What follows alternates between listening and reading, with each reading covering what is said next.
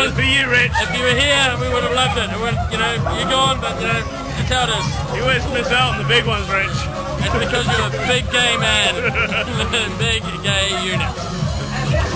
See you on the Xbox Live on Tuesday. I'm all over it. Let's fucking